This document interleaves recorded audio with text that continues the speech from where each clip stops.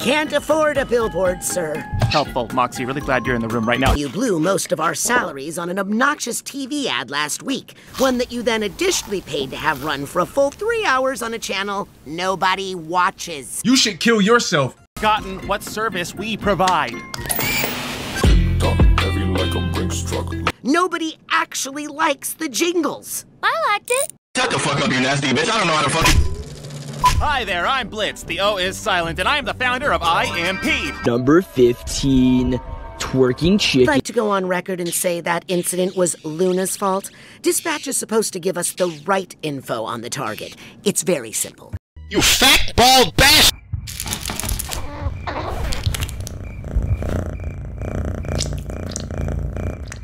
Surprise, motherfucker.